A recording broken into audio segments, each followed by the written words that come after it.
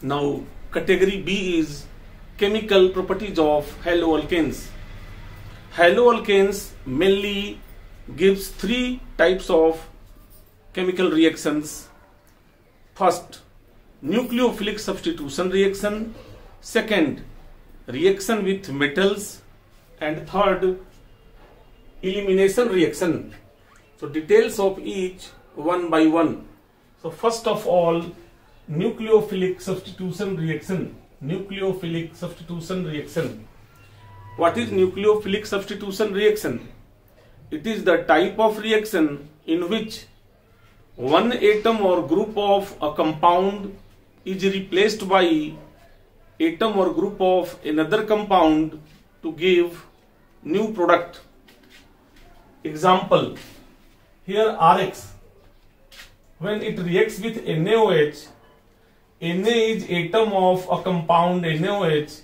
It is replaced by X halogen. Halogen is atom of compound Rx and it gives ROH alcohol.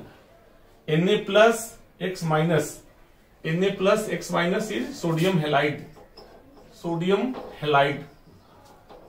So starting from alcohol, you can prepare alcohol. If you write C2H5 instead of R it is haloethane and here it will be ethanol halopropane to propanol and so on B when haloalkane reacts with NaOR NaOR is sodium alkoxide then Na and X becomes sodium halide and main product is Ether, ROR. ROR is ether, and this is well-known reaction, Williamson's equation, or reaction. Williamson's equation you can write, or reaction also you can write. See, when Rx reacts with ammonia, amine is formed.